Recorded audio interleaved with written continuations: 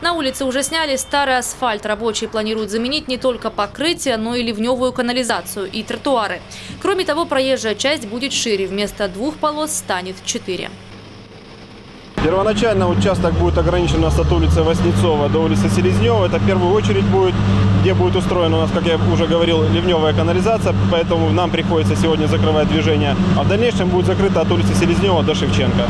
Все будет зависеть от нашего производителя работ. Будем максимально сжатые сроки Реконструируют около двух километров дороги. На это из бюджета региона выделили более 300 миллионов рублей. Такое решение было принято во время очередного объезда главы региона по самым проблемным улицам Краснодара. От жителей краевой столицы Вениамину Кондратьеву поступало много жалоб именно на состояние улиц Новороссийской и Тургенева. По поручению губернатора на ремонт этих и других дорог города выделена беспрецедентная сумма – более трех с половиной миллиардов рублей.